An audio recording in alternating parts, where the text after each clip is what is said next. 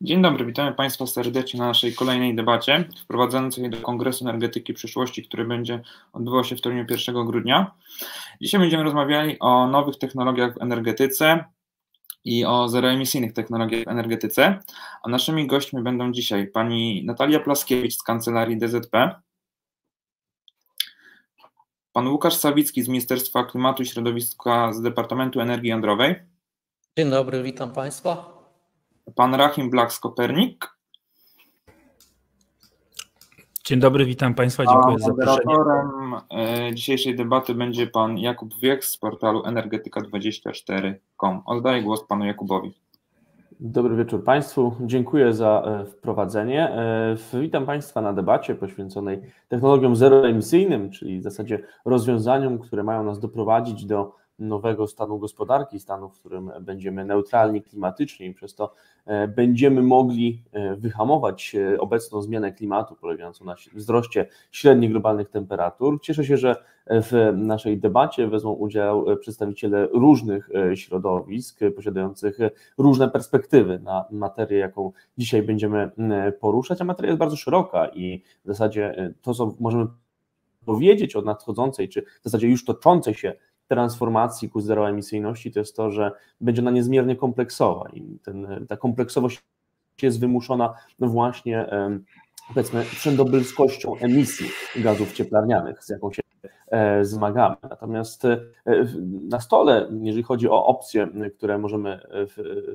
tutaj przedsięwziąć, żeby wyhamować e, emisję, żeby dążyć do zeroemisyjności, są różne technologie. I właśnie o tych technologiach chciałem porozmawiać. E, I na e, pierwsze pytanie chciałbym skierować do przedstawiciela Ministerstwa Klimatu i Środowiska.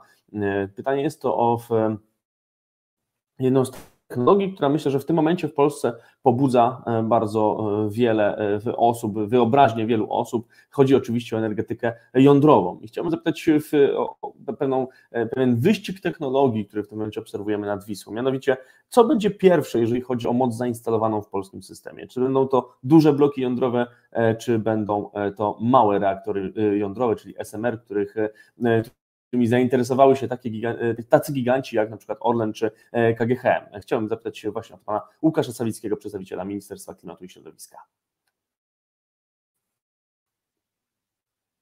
Proszę tylko o wyłączenie wyciszenia mikrofonu. Tak, już przepraszam. Panie redaktorze, bardzo dziękuję za to pytanie. E, myślę, że wbrew pozorom one no, nie jest aż takie proste do, do, do odpowiedzi. Oczywiście ja jako przedstawiciel ministerstwa przede wszystkim kibicuję e, mojemu projektowi, czyli projektowi e, rządowemu, więc, więc tutaj mogę powiedzieć, że no, ta data, którą przyjęliśmy dla uruchomienia pierwszego bloku, pierwszej elektrowni jądrowej, czyli 2033, ona wynika zarówno z analiz, które, które powiedzmy PSE wykonało, czyli operator systemu, więc powiedzmy jest tam harmonogram wyłączeń starych bloków i w tym momencie akurat bloki jądrowe powinny je zastąpić, powinny tam wejść aczkolwiek też mamy y, również informacje od dostawców technologii, że jak najbardziej ten termin 2033 y, jest, y, jest realny, tam też pewne, pewne oczywiście warunki są też jakby postawione. Natomiast jeśli chodzi o SMR, czy tu jest sprawa o tyle trudna, że w zasadzie no jest to technologia nowa. Oczywiście istnieją SMR-y też, które powiedzmy no zbudowały kraje po, poza OECD-owskie jak najbardziej. Natomiast jeśli chodzi o państwa zachodnie, gdzie są zupełnie inne procedury tak zwanego licencjonowania czy certyfikacji, gdzie są inne warunki też uzyskiwania pozwoleń środowiskowych. E, póki co e, taka inwestycja nie została zrealizowana i w zasadzie to, to czym dysponują E, powiedzmy potencjalni inwestorzy, bo na razie to trudno też mówić w ogóle o inwestorach, jeśli chodzi o te, o te technologie, ponieważ firmy, e, które oficjalnie deklarują e, w różnych krajach, nie tylko w Polsce, które oficjalnie deklarują zainteresowanie, są tak naprawdę potencjalnymi inwestorami, bo nie ma tam żadnej, żadnej decyzji inwestycyjnej, ani nawet żadnych wiążących umów nie podpisano. Więc y, nadal te plany powiedzmy są jeszcze na takim bardzo wczesnym etapie, natomiast tu niewątpliwie pewną trudnością dla tych technologii będzie sam fakt, że y, są to takie technologie y, typu FOA, czyli First of a Kind. Oczywiście wiele z nich bazuje już na częściowo przynajmniej sprawdzonych, sprawdzonych konstrukcjach, czy wręcz, wręcz przeskalowanych dużych reaktorach, przeskalowanych w dół. No niemniej jednak są to konstrukcje nowe, bardzo często też innowatorskie i tutaj oczywiście biura konstrukcyjne mają pewne harmonogramy i oczywiście w swoich materiałach informacyjnych podają pewne konkretne terminy czy harmonogramy, ponieważ tam też i dialogi są prowadzone, czy rozmowy z dozorami, z urzędami dozorów jądrowych w różnych krajach Niemniej jednak e, no, są to e, powiedzmy terminy mocno deklaratywne i powiedziałbym bardzo optymistyczne.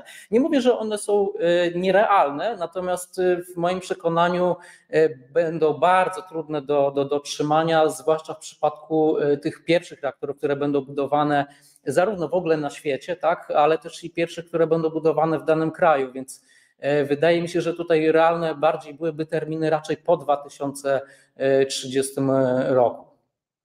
Mhm.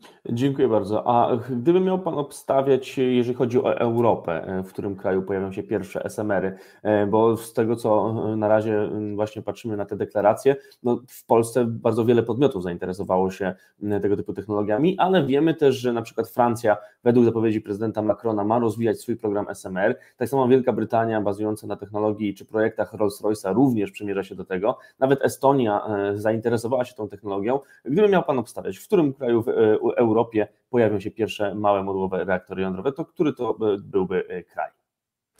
E, nie podejmę się obstawiania, bo e, tak jak, tak jak wspomniałem też w mojej pierwszej odpowiedzi, ciężko w zasadzie wskazać jakiś taki projekt, który byłby najbardziej, znaczy nie, no, nie pewne może projekty są trochę bardziej zaawansowane niż inne, natomiast Potencjalne zainteresowanie jest dosyć spore, bo rzeczywiście, tak jak pan redaktor wspomniał, bardzo wiele krajów wyraziło swoje zainteresowanie, ale jeszcze raz podkreślę, to jest na razie zainteresowanie e, bardziej deklaratywne. Nie ma tam jeszcze wiążących jakichś umów podpisanych, nie ma umów wykonawstwa. Mało tego, brakuje dokumentacji e, technicznej, przede wszystkim dokumentacji realizacyjnej, budowlanej dla tych konstrukcji i nadal jest to bardzo, duży, bardzo duże ryzyko dla potencjalnych inwestorów. Oczywiście e, musimy też rozumieć jakby no, też motywację tych firm, które E, e, które mogą być tymi potencjalnymi inwestorami, mówią o tym, że są zainteresowane e, budową. Pomijam oczywiście biura konstrukcyjne, bo to jest, to jest jakby no, osobna osobna kategoria podmiotów, tak, no bo one oczywiście mają interes w tym, żeby te projekty rozwijać i bazując na dotacjach, które otrzymują z, z różnych podmiotów, no chociażby chociażby z, z, z, funduszy federalnych rządów Stanów Zjednoczonych, gdzie, który no bardzo mocno dotuje od pewnego czasu rozwijanie tych projektów, przynajmniej na etapie takim certyfikacyjnym. No to póki co, z racji tego, że przede wszystkim brakuje tej dokumentacji i tak jak wspomniałem, nie ma doświadczeń z budowy i z eksploatacji tych bloków, więc na razie jest taki jakby ogólny nie wiem jak to, jak to dobrze określić, taki, e, jest takie ogólne określenie rush e, angielskie, chociaż ja nie, nie, e, oczywiście nie jestem zwolennikiem może stosowania anglicyzmów na szeroką skalę, ale niemniej jednak no, nie znajduję to lepszego, lepszego określenia. Chodzi o to, że jest takie potencjalne duże zainteresowanie, natomiast co z tego ostatecznie wyniknie, no to na ten moment trudno powiedzieć i w zasadzie to no, konia z rzędem temu, który będzie w stanie określić z, dużym, z dużą dokładnością i dużym prawdopodobieństwem, gdzie pierwszy SMR w którym kraju, a jeszcze w dodatku jakiego typu e, mógłby powstać. Myślę, że to jest na ten moment niemożliwe do określenia. E, bardzo dziękuję. E, kolejne pytanie chciałbym skierować do Pani Natalii Plaskiewicz. Mianowicie, e, jeżeli chodzi o takie modne technologie, które przykuwają uwagę, które elektryzują media czy społeczeństwo, to bez wątpienia jest nią technologia wodorowa i pokładane z nią w niej e, nadzieje, bo wodór ma w cudowny sposób służyć jako magazyn energii, ma nam zdekarbonizować przemysł, ma zdekarbonizować transport. No i moje pytanie brzmi, czy paradoksalnie nie pokładamy zbyt Wodorowy Deus Ex Machina nie jest już troszeczkę takim właśnie bożkiem, który ma nas cudownie ocalić, ale jednak brakuje tutaj czy to technologii, czy e, możliwości finansowych, żeby doprowadzić rozwój tych rozwiązań do poziomu e, akceptowalnego kosztowo. Mhm. Um, rozumiem, skąd biorą się wątpliwości. E, ja sama pamiętam, jak pojawiły, pojawił się ten duży raport planeta, e, czysta planeta dla wszystkich Europejczyków, gdzie tam rzeczywiście pojawiały się te różne scenariusze dekarbonizacyjne, a następnie toczyły się również prace nad funduszem innowacyjnym, gdzie pierwszy raz tak naprawdę e, uwypuklono potencjał, czy też po, po położono jakieś nadzieje, e, jeżeli chodzi o rozwój technologii wodorowych, ich wykorzystanie. Bardzo dużo osób było bardzo sceptycznych i po prostu uważało, że to jest kolejna mrzonka, taka jak kiedyś CCS, z którym nic się nie udało nigdy zrobić. Natomiast jesteśmy trzy lata później i wydaje mi się, że jesteśmy w zupełnie innym momencie. E, biznes przekonał się do samego pomysłu rozwijania technologii wodorowych. E, ja sama brałam udział w warsztatach Komisji Europejskiej nad Funduszem Innowacyjnym, szczególnie tych o wodorze i widziałam po prostu projekty, które były zgłaszane. One cały czas są rozwijane. E, wydaje mi się również, że w tym momencie mamy zbieg różnych czynników polityki unijnej, w tym przede wszystkim stale rosnące ceny uprawnień emisji dwutlenku węgla, które wymykają się wszelkim chyba e, szacunkom, tak naprawdę. E, do tego dochodzi nam jeszcze coraz bardziej restrykcyjna polityka Unii Europejskiej, jeżeli chodzi o jakiekolwiek dopuszczalne emisje dwutlenku węgla w różnych sektorach, a także y, nadal trwające prace nad taksonomią. To, że zostało przyjęte to rozporządzenie o taksonomii, wiemy już e, w tym momencie, że będą dalsze prace i te prace będą kontynuowane. Na pewno daje to rynkowi pewien bodziec. Ja również e, patrzyłam na e, draft tych wytycznych pomocowych na nowy okres horyzontu budżetowego i tam pojawiają się systemy wsparcia dla wodorów, przede wszystkim jeżeli chodzi o clean mobility, jest cały program projekt programu, powiedzmy, e, dla wykorzystania czy też wsparcia rozwoju infrastruktury e, stacji e, tankowania wodoru. Wiem też, że NCBR chyba, może pan z Ministerstwa Klimatu wie więcej, chociaż to jest pewnie inna komórka, ale NCBR już też otworzył swoje pierwsze programy wspierające rozwój technologii wodorowych w wytwarzaniu i w magazynowaniu. Wydaje mi się, że również sam rozwój technologii pokazuje nam, że no, ten progres jest. To jest bardzo widoczne e, także w obszarze magazynowania. Więc wydaje mi się, że sam biznes jest bardzo zdeterminowany do tego, żeby rzeczywiście móc skalować też e, i wykorzystywać na szerszą skalę te technologie. E, jest duże zainteresowanie, szczególnie jeżeli chodzi o transport morski, wykorzystania pochodnych wodoru.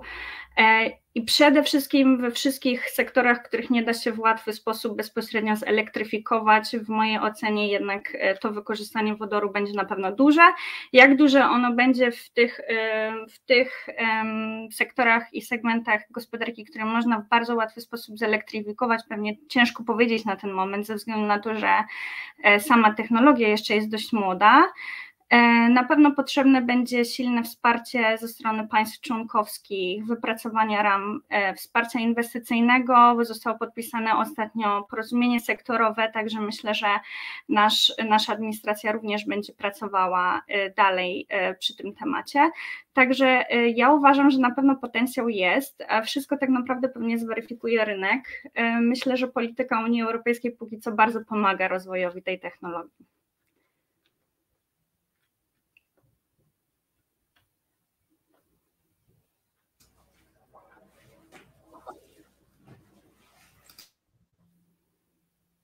No właśnie, tutaj wspomniała Pani o tym, że rynek będzie weryfikował te technologie, e, tak samo jak, e, w, że jest duże zainteresowanie i ze strony graczy rynkowych, i ze strony legislatora. Natomiast czy my technologicznie jesteśmy w stanie wspiąć się na te wyżyny, jakie są projektowane, mhm. chociażby w unijnej strategii wodorowej, która przewiduje, że już pod koniec tej dekady mamy mieć określone moce w elektrolizerach. Czy to jest e, fizycznie wykonalne, żeby w ciągu 10 lat faktycznie te kilka gigawatów w elektrolizerach już postawić w Unii Europejskiej?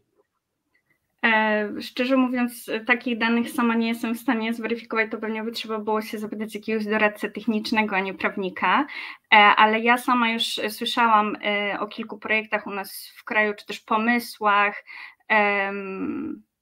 zainteresowaniu turbinami, które mogłyby spalać wodór bądź też spalać różne mieszanki gazów.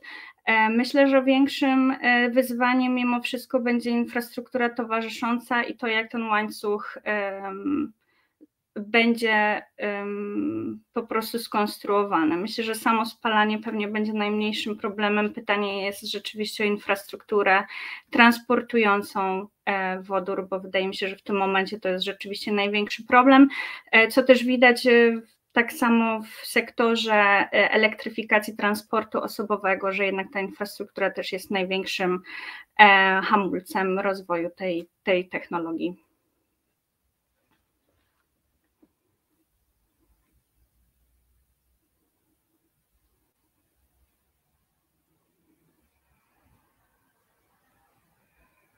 Rahima Blaka, mianowicie e, w, jeżeli chodzi o rozwój źródeł odnawialnych, one mają pracować w rozproszeniu, mają być przekuwane w taki potencjał prosumencki e, i z nimi wiąże się technologia blockchain, która ma pomagać w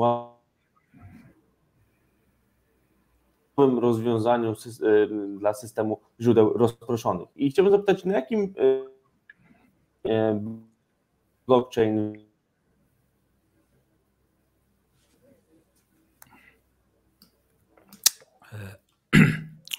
Panie Jakubie, nie wiem, czy tylko mi przerywa pańskie pytanie, ale wolałbym je usłyszeć. Ja też mam. Też... Mhm. Odpowiedzieć. Także czekamy jeszcze raz na powtórzenie pytania. W tym czasie się z Państwem przywitam. Dobry wieczór Państwu. Napiszcie w komentarzu, czy mnie dobrze y, słychać i czy dobrze słychać Pana Jakuba. Pan Jakub chyba nam zniknął gdzieś.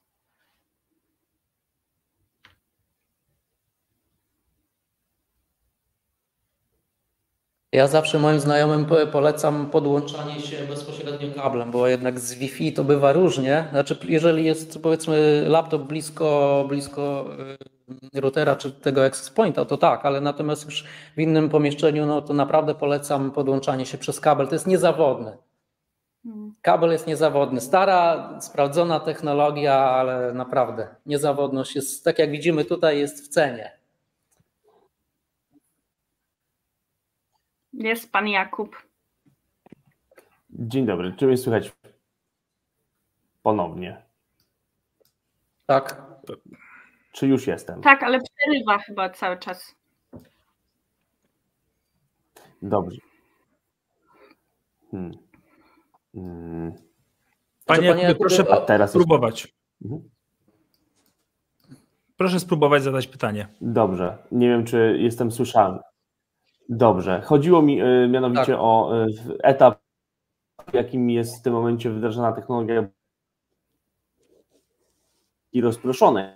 Wygląda, gdzie są używane te rozwiązania i y, jakie są, jaki jest potencjał właśnie w wsparciu prosumentów technologią blockchain. Dobrze, to zacznijmy może w ogóle od potrzeby, jaką jest e, temat w ogóle rozproszenia. Tak? Do, do, do, tej pory w energetyce, która była znana zanim e, ja się jeszcze urodziłem, mieliśmy do czynienia z rozproszonym odbiorem energii. Natomiast w tym momencie mamy do czynienia jeszcze z dwoma dodatkowymi formami rozproszenia. Zarówno rozproszonego kapitału, który finansuje powstawanie odnawialnych źródeł energii, E, I tutaj nie mówimy o elektrowniach jądrowych, które są finansowane przez, e, przez e, albo najbogatszych, albo często przez państwowe budżety, ale mówimy o farmach fotowoltaicznych, których w Polsce w przeciągu najbliższych 10, 10 lat może powstać kilkanaście tysięcy. Więc mówimy nie tylko o rozproszonym odbiorze energii, mówimy również o rozproszonym na wytwórcy energii i mówimy też o rozproszonym kapitale. Skoro mowa zatem o szeroko pojętym rozproszeniu, trzeba sobie zadać pytanie, do czego tu jest potrzebna technologia blockchain? Czy technologia blockchain w ogóle tu jest potrzebna? Otóż mamy do wyboru w tym momencie albo instytucje e, zaufania, e, które są pewnego, pewnego rodzaju e, analogowymi blockchainami, jak my to mówimy w świecie cyfrowym, albo technologią blockchain, która właśnie pełni funkcję tutaj tej technologii zaufania. Zanim teraz odpowiem na to pytanie, co tu robi technologia blockchain w tym rozproszonym zarządzaniu energią odnawialną, powiem może czym jest ten blockchain. Blockchain to jest nic innego jak internetowy notariusz, w którym transakcje między stroną 1 a 2 zatwierdza strona trzecia, a tą stroną trzecią jest komputer, który jest w rękach tak zwanego górnika. Komputer potocznie nazywany jest koparką. Blockchain zatem jest zdecentralizowaną bazą danych, która przez swoją decentralizację i przez to, że nie ma jednego właściciela, który centralnie tym zarządza, jest niepodatny na e, manipulacje liczbowe, ponieważ jest to, tak jak już wspomniałem, pewnego rodzaju internetowy notariusz. W związku z tym tego typu zarządzanie teraz rozproszoną energią albo przez inwestorów, albo przez e, rozproszonego odbiorcę, albo przez rozproszonego wytwórcę, może się odbyć zarówno poprzez skorzystanie z instytucji zaufania, jak i skorzystanie z technologii zaufania. I teraz, kiedy zalecana jest technologia zaufania? Technologia zaufania jest e, zalecana wtedy, kiedy na przykład finansowaniem, dajmy na to, jednej farmy słonecznej zajmie się na przykład dziesiątki tysięcy drobnych inwestorów. Na przykład w nasze farmy słoneczne Kopernika można zainwestować już 4 zł. Nie sposób byłoby zarządzić tym inaczej niż poprzez technologię, która oprócz zaufania dostarcza pełen proces automatyzacji, ponieważ trudno byłoby ten cały proces przeprowadzić przez notariuszy, czy chociażby przez kancelarię prawną, którą reprezentuje tu pani Natalia, bo po prostu było to, to bardzo drogie. W tym momencie, kiedy my pozyskujemy fundusze, kiedy my rozmawiamy z Urzędem Regulacji Energetyki, to oczywiście podpisujemy bardzo grube umowy, czasami mają ponad 100 stron, ale kiedy sprzedajemy tokeny za 4 zł, chcemy używać do tego tego cyfrowego notariusza, który nie tylko jest kwestią wyboru, ale jest wręcz kwestią konieczności. E, więc Reasumując, czy technologia blockchain to może mieć zastosowanie? Może mieć zastosowanie w przypadku zarządzania zarówno rozproszonym kapitałem, czyli dzięki temu każdy Polak może zainwestować najmniejszą chociażby kwotę w dowolnym miejscu, i ona służy również do rynku wirtualnego prosumenta, w którym każdy wie, ile wytworzył energii i może ją też wykorzystać w dowolnym miejscu, nie tylko u siebie w domu, ale także na przykład w stacjach ładowania energią. Żeby tym wszystkim zarządzać, to po prostu przydatna jest technologia blockchain, ponieważ ona jest też i do tego służy technologia bardziej wydajna.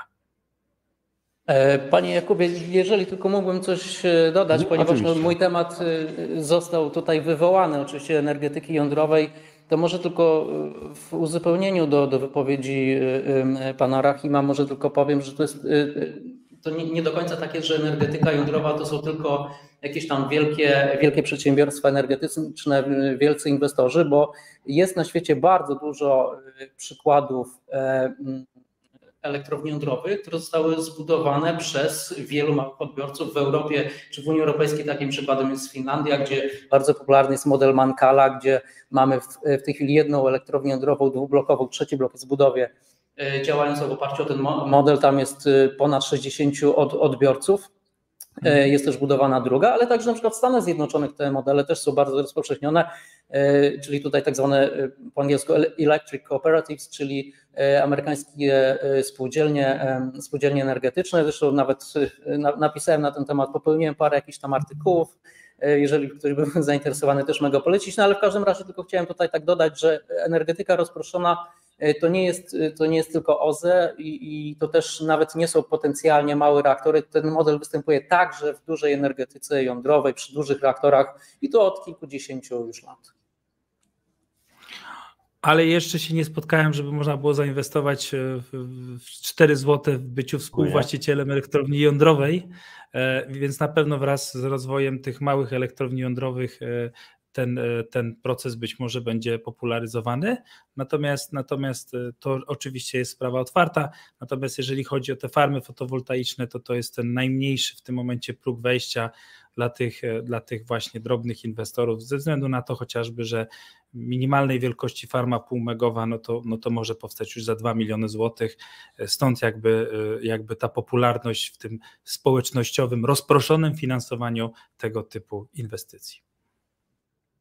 To tylko jeszcze ad vocem, przepraszam, bo to e, chyba, e, chyba troszeczkę e, myślę, że niechcący zmieniam może plan tej dyskusji, natomiast chyba chciałbym się do tego odnieść, bo to też jest ciekawy wątek, który też pewne stereotypy obala. No w Finlandii najmniejszymi akcjonariuszami lub udziałowcami właśnie tych elektrowni w modelu Mankala są małe gminne spółki obrotu, gdzie praktycznie klientem takiej, takiej spółki to jest kilkadziesiąt gospodarstw domowych, więc może niekoniecznie tam 4 zł czy 4 euro, nie Niemniej jednak jest to skala też, powiedziałbym mikro, czyli skala już takich kilkudziesięciu gospodarstw domowych. Także przepraszam, chciałem tylko uzupełnić. Nie, Panie Łukaszu, zainspirował, zainspirował mnie pan, pan do tokenizacji także tego sektora źródeł energii, także dziękuję.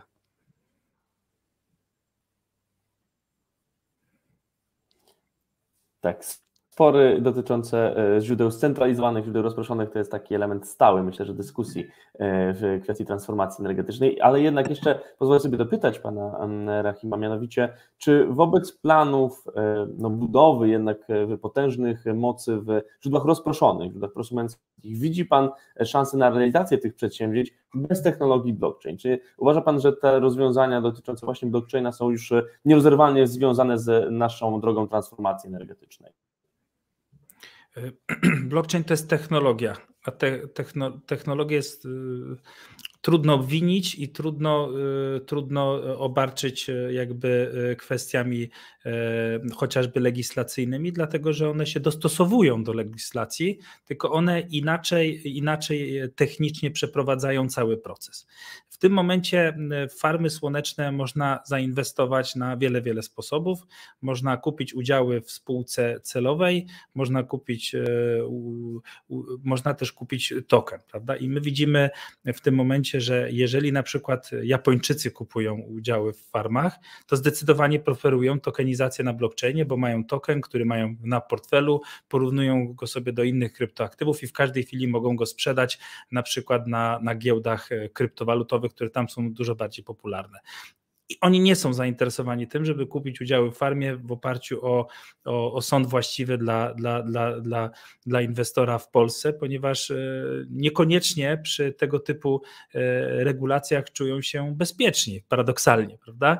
Technologia daje im większe poczucie bezpieczeństwa i płynności tego aktywa niż legislacja. Natomiast no, mamy też starszych inwestorów, i tutaj dosłownie starszych, po prostu wiekowo starszych, którzy no, lubią po prostu spotkać się u notariusza, podpisać, e, kupić te 20-30% udziałów, zapłacić te kilka tysięcy złotych u notariusza, zapłacić kilkanaście tysięcy złotych prawnikom, którzy to wszystko sprawdzą.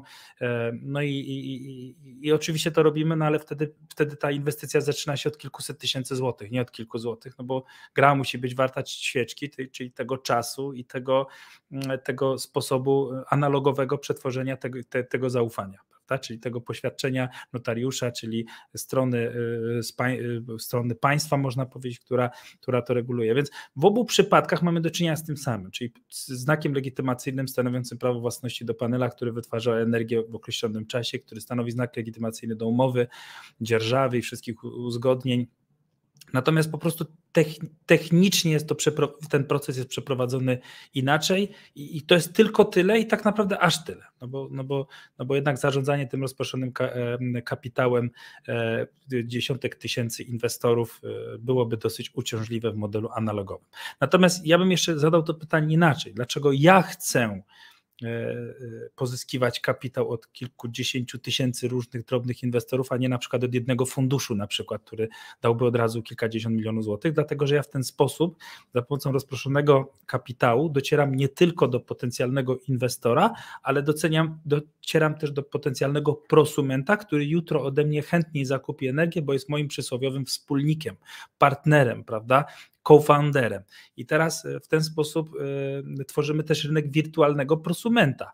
E, I teraz tą energię, ten wytwórca, który dołączył do naszej, do naszej spółki, że nie kupił tylko udziału w spółce, w spółce ZO czy w spółce akcyjnej, tylko kupił token, który wytwarza energię, którą można spożytkować u siebie w domu albo w stacji ładowania. Do tego jest oczywiście potrzebne odpowiednie bilansowanie obrót energią i odpowiednie na to oczywiście koncesje, no bo dalej mówimy o tej samej rzeczywistości, tylko w inny sposób, że tak powiem, przeprowadzonej technicznie, no to wtedy ja tworzę rynek też wirtualnego prosumenta i mając te kilkadziesiąt tysięcy e, inwestorów, mam też kilkadziesiąt tysięcy gospodarstw domowych, których mogę dostarczyć tą energię, którą przecież wspólnie E, wytworzyliśmy, a mogę ją dostarczyć nie tylko do domu, mogę ją dostarczyć do też innego domu, mogę ją dostarczyć do firmy, mogę ją też dostarczyć do stacji ładowania. Więc z jednej strony mamy rozproszony kapitał, z drugiej strony mamy rozproszoną konsumpcję tej rozproszonej energii. Tak? Także to jest tak zwany rynek wirtualnego prosumenta, jak i sposób rozproszonego finansowania tych przedsięwzięć, żeby każdy Polak mógł się dołączyć do transformacji energetycznej e, naszego kraju. Dziękuję bardzo. E, I przechodzę do pana e, Sawickiego. Mianowicie, no rozmawiamy tutaj o inwestycjach, o, o właśnie dokładaniu się do w transformacji energetycznej. I chciałbym zapytać o ramy inwestycyjne dla energetyki jądrowej. Mianowicie wspomniał Pan już o pewnym modelu finansowania, natomiast y, toczą się w tym momencie boje o taksonomię, czyli taką powiedzmy agendę inwestycyjną dla Unii Europejskiej i czy uważa Pan, że dla atomu znajdzie się dla, w niej miejsce, czy y, zostanie ta technologia zakwalifikowana jako odpowiednia e, dla właśnie kryteriów, jakimi posługuje się e, taksonomia? Tak, panie redaktorze, rzeczywiście taksonomia ma, czy będzie miała bardzo istotny wpływ na e, przede wszystkim na koszty finansowania energetyki jądrowej, na koszty kapitału, bo, bo w zasadzie w to, jest, e, w to jest wycelowana jako narzędzie e, Unii Europejskiej czy Komisji Europejskiej, powiedzmy. Wydaje mi się, znaczy, jeżeli miałbym ja obstawiać, to myślę, że atom ostatecznie się znajdzie. To wynika z faktu, że od pewnego czasu jest budowana coraz większa, coraz silniejsza koalicja państw, państw e, w Unii Europejskiej, państw e, projądrowych. E, to jest koalicja, której obecnie przewodniczy Francja. Jest tych krajów w tej chwili 10 i na początku rzeczywiście był problem taki, że w momencie, kiedy, kiedy wystartowały pierwsze prace nad taksonomią, to kraje projądrowe, czyli te tak zwane like-minded pro-nuclear countries, były troszeczkę słabo zorganizowane i jakby ten temat y, y, energetyki jądrowej w, w taksonomii trochę został przespany, a trochę też oczywiście ta, ta jakby siła oddziaływania była bardzo, bardzo słaba, natomiast od pewnego czasu, kiedy Francja przejęła już rzeczywiście, bo wcześniej jakby trochę e, Francja też nie była do końca zdecydowana, natomiast tam kwestie polityczne już oni wewnętrznie już mają uporządkowane i, i w zasadzie z taką projądrową agendą zdecydowanie już od pewnego czasu e, ruszają do przodu. I w tym momencie już, kiedy Francja stanęła za tym blokiem projądrowym, E, wydaje mi się, że jest już bardzo duża szansa na to, że rzeczywiście e, energetyka jądrowa w tej taksonomii się znajdzie. Zresztą nawet takie są mm, nieoficjalne zapowiedzi e, ludzi związanych tam z Komisją Europejską, więc myślę, że myślę, że ostatecznie tak będzie. No niemniej jednak zanim to się stanie, to jeszcze nas chyba czeka dosyć, dosyć długi i ciężki, ciężki bój o tę energetykę jądrową, ponieważ no, jest oczywiście też wiele różnych grup interesu, którym się to bardzo nie podoba i, i tą energetykę jądrową w Unii Europejskiej zwalczają stoją oczywiście też za nimi konkretne kraje e, i to jest też no, ciekawy przykład tego, jak można e, też, czy w ogóle jak wyglądają kulisy, e, może sposoby realizacji, czy rywalizacja różne sposoby realizacji właśnie tej zeroemisyjności i dekarbonizacji w Unii Europejskiej, tak, ponieważ są wytyczone, wyty, znaczy są, istnieją różne drogi, różne modele, tak, jest oczywiście model energii Wende niemiecki, który y, y, zakłada nieużywanie energetyki jądrowej, opiera się głównie o o odnawialne źródła energii, o, też o gaz ziemny, bo przecież po to jest między innymi tam Nord Stream budowany, w, być może w jakimś tam stopniu w dalekiej przyszłości. E, też, e, też, też wodór. No i oczywiście są też modele, powiedziałbym, bardziej neutralne technologicznie. Tutaj właśnie jest e, chociażby ten model francuski oparty na energetyce jądrowej, czy, czy no jeszcze do niedawna, bo teraz już w Wielkiej Brytanii w Unii Europejskiej nie ma, no, na przykład Wielka Brytania, kiedy jeszcze była, też miała też, też swój taki jako kraj unijny też miała taki swój model dekarbonizacji, zresztą bardzo ambitny, bo, e, bo Wielka Brytania ma plan osiągnięcia w zasadzie zerowych e, emisji netto do 2035 roku. Tam teraz już w tej chwili są już takie przymiarki, więc to jest potwornie ambitny E, plan. I oczywiście też e, jednym z centralnych punktów jest tam energetyka, energetyka jądrowa, są oczywiście odnawialne źródła energii, które też będą jednym z tych e, moim zdaniem chyba dwóch filarów, może trzeci filar to będzie wodór jako sposób na dekarbonizację dekarbonizację przemysłu, tak? Czy elektryfikacja też może być tym właśnie elementem e, dekarbonizacji przemysłu, chociażby e, w hutnictwie. Więc e, no, mamy przynajmniej takie dwie, może trzy drogi, w, w jaki sposób ta dekarbonizacja powinna postępować. No nie, nie jednak w dwóch z nich energetyka jądrowa jest kluczowa, więc wydaje mi się, że jeżeli Unia Europejska ma osiągnąć te swoje ambitne cele nawet do 2050 roku, trochę tam czasu zostało, ale, ale jednak no, czas leci szybciej niż nam się wydaje, więc tego czasu aż tak bardzo dużo nie mamy. Poza tym zmiany klimatyczne też przyspieszają, więc wydaje mi się, że bez energetyki jądrowej będzie to, nie wiem czy w ogóle będzie to możliwe, ja osobiście w to wątpię, ale wydaje mi się, że energetyka jądrowa, jeżeli miałbym się założyć o 100 zł na przykład, to raczej bym postawił te 100 zł na to, że energetyka jądrowa ostatecznie w tej taksonomii się znajdzie, no, zwłaszcza tak jak wspomniałem, po tym jak już Francuzi mocno zaczęli wspierać e, właśnie na arenie unijnej e, energetykę jądrową, e, czy wrzucenie, znaczy wrzucenie, no powiedzmy umieszczenie w tej, w tej taksonomii, także raczej, raczej byłbym dobrej myśli. No niemniej jednak jeszcze nas czekają, myślę, długie przepychanki, długie walki o to, żeby ta jądrówka rzeczywiście tam się znalazła. No, żyłka ja mogę dodać Jasne, oczywiście, proszę bardzo. Zdanie komentarza, bo tak się składa, że sprawy e, taksonomii energetyki jądrowej też są mi bliskie, jeżeli chodzi o moje zawodowe kwestie. Duży czas w Brukseli spędziłam również nad tymi tematami i przede wszystkim takim, pamiętam statystyką, którą najczęściej się posługiwaliśmy, argumentując, że jednak atom powinien być uwzględniony w taksonomii, jest to, że już dokładnie nie pamiętam, ale chyba 16 czy więcej państw członkowskich e, jednak w krajowych planach wskazuje dojście do neutralności klimatycznej z użyciem atomu, więc jeżeli mieliby z tego zrezygnować, nawet w perspektywie jakiegoś e, czasu, możliwości niemodernizowania czy też niestawiania nowych mocy, to pewnie byłoby ciężko. E, wiem też, że ostatnio pojawiły się te wszystkie raporty ekspertów i nawet chyba e, austriacki ekspert wyraził się za włączeniem atomu do taksonomii, także może to być też znaczące.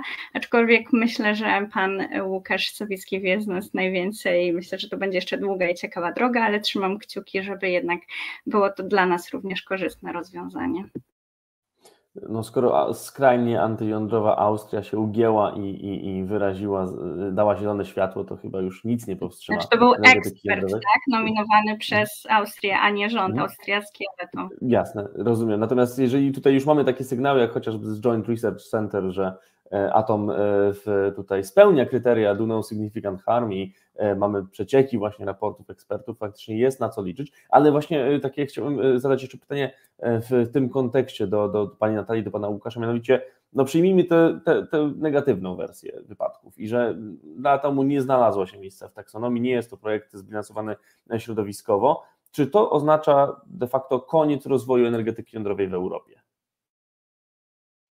E, w Europie czy w Unii Europejskiej? Bo to też w jest Unii Europejskiej oczywiście. W Unii Europejskiej. Znaczy moim zdaniem, moim zdaniem nie, ponieważ e, taksonomia jest takim dosyć miękkim narzędziem, które raczej ma starać się zachęcać inwestorów do kierowania do kierowania kapitału w konkretne kierunki, natomiast on e, też pewnym, pewną jakby no luką e, taksonomii jest to, że ona nie dotyczy inwestorów, albo w bardzo niewielkim zakresie dotyczy inwestorów pozaunijnych.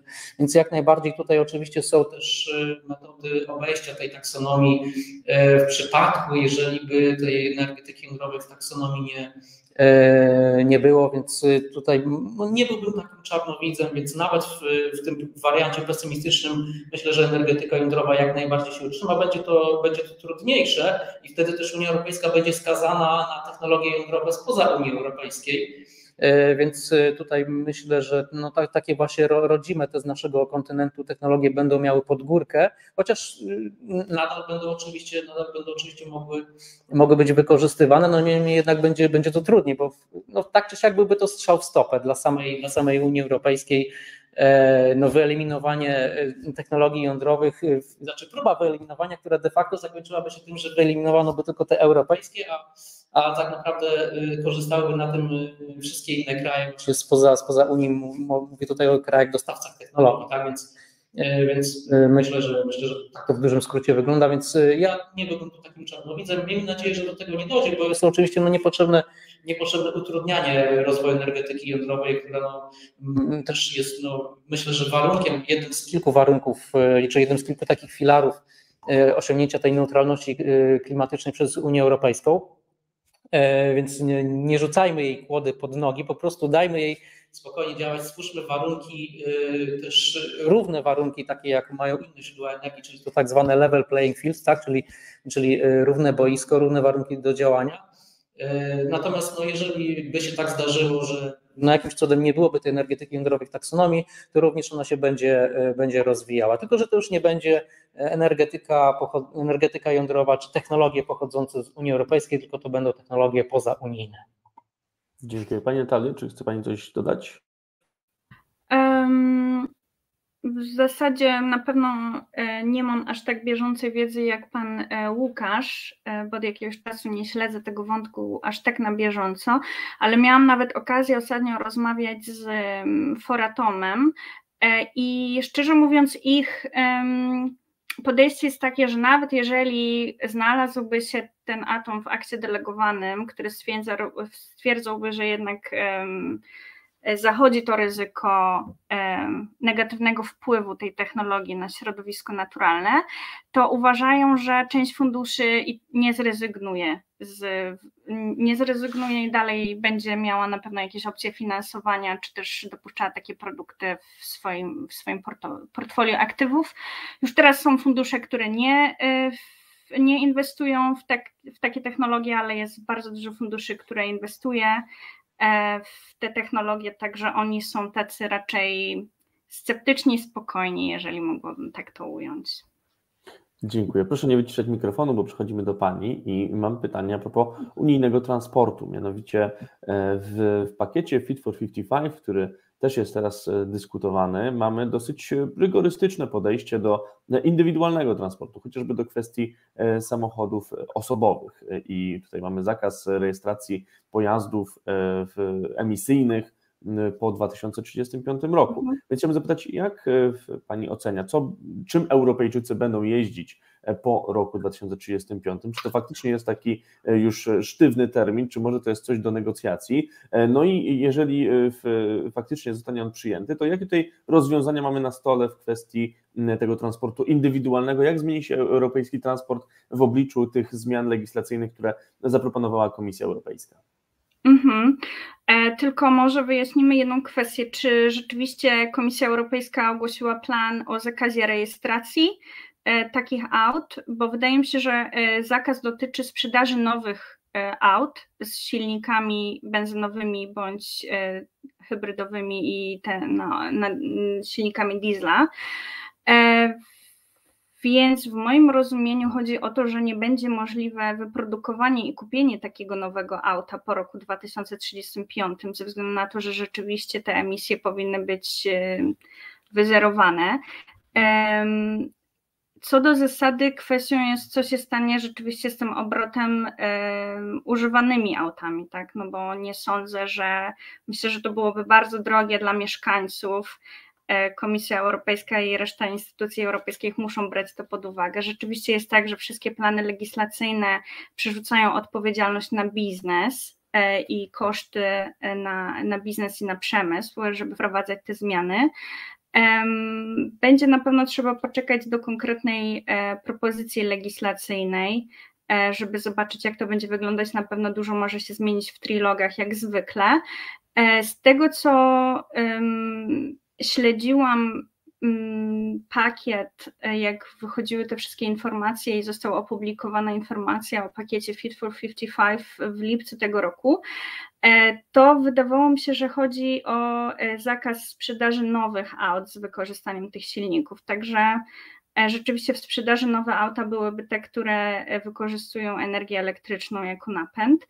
E, jednakże nie widziałam tam zakazu sprzedaży aut używanych, czy też jeżeli ktoś ma auto hybrydowe, żeby je sprzedać nowemu właścicielowi po roku 2035, ale to pewnie na szczegóły będzie trzeba poczekać po prostu na konkretną propozycję. Chyba, że Pan ma informacje takie, że to rzeczywiście chodzi o to, że nie będzie można sprzedawać nawet aut używanych i już nikt ich nie przerejestruje, nie zarejestruje, no to wtedy rzeczywiście będzie to duży skok dla, dla wszystkich, zwłaszcza dla mieszkańców, tak? No bo najbardziej to dotyczy rzeczywiście to ograniczenia aut, e, aut osobowych i, i vanów, jak rozumiem. Tak, znaczy ja się wsłuchuję na razie w tę debatę i e, widzę, że po pierwsze przemysł motoryzacyjny w Europie mhm. no, jest dosyć sceptycznie nastawiony. E, tak mhm. samo myślę, że dla krajów o wysokim stopniu wykluczenia komunikacyjnego, no to wszelkie restrykcje dotyczące samochodów osobowych będą trudne do przyjęcia. Mhm. powstanie pewna masa e, pojazdów, które nie będą już dopuszczalne do, do użycia, no i trzeba coś będzie z nimi zrobić.